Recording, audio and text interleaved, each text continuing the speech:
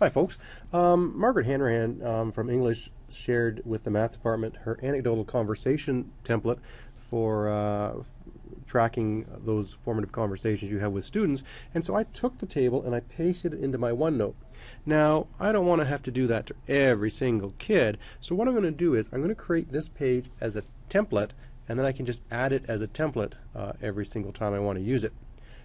If this is something you want to have in the notebooks next year, let us know because this can be automatically added and we can include the student name automatically within the structure automatically in the M uh, marking folder. So the student doesn't actually see it, but you have a record of all those conversations.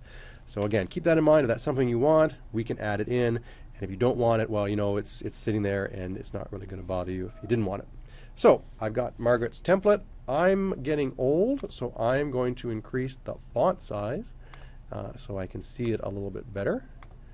And I'm going to make the table a little bit wider so I have a little bit more room.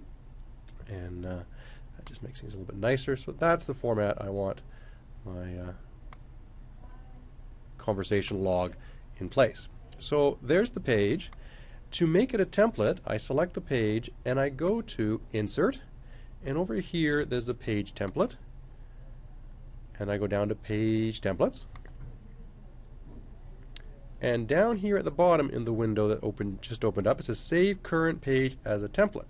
So I click on that, and template page is Anecdotal Conversations, and click Save. So if I want to use that templates, notice it's now here at the top. It takes a minute to refresh in case it doesn't show up for you.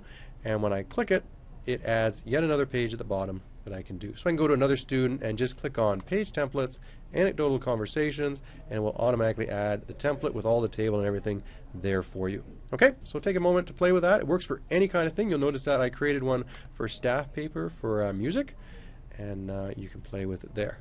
Uh, I will also save this page and send it around with my email so you can just open it up and save it as a template directly in your OneNote. If you have any problems, let me know. And of course, on Fridays, I'm in the faculty lounge, both lunches. Thanks very much.